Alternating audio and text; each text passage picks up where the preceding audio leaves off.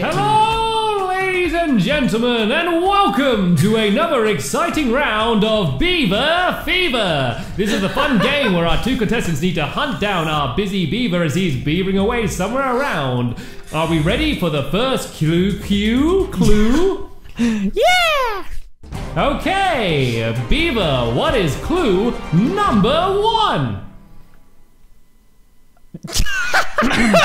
Beaver? I wasn't ready to give out clues. Come on. Okay, we're gonna quickly cut to a commercial break.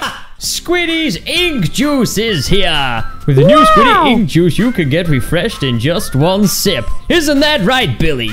It sure is. I pour it on my face.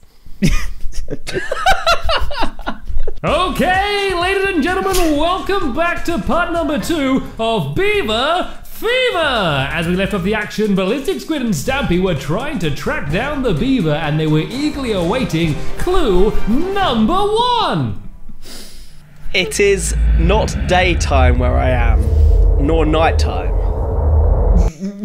Clue, not a riddle. Okay, clue number one. Ballistic Squid, where do you think that could be? I think that he's downstairs in the factory because it's neither nighttime or daytime down here because the beaver cannot see. Okay, it looks like the hunt is on. Right then, I think it's time for clue number two. Beaver, what do you have to say? I'm in a glass case of emotion.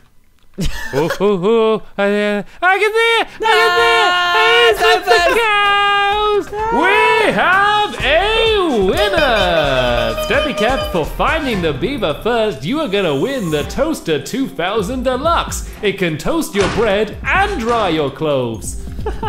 You also get a speedboat, even though you live in the middle of England. How do you feel, Stampy? Ah, I feel it's so amazing. I can't believe it. It's like, uh, you never think it's going to happen to you. And I just went out there and I gave 110%. And I was able to, to, to, to find the beaver. I watched this show all the time at home. It was just such an exciting time. And I'm going to share the speedboat with all of my friends. And I'm going to toast my, my clothes. And I'm going to dry all of my toast. And it's going to be really amazing. Thank you very much. Bye. Well, Okay. thanks for joining, Stampy. And that's the end of Beaver Fever. Join us next week for some more beavering fun.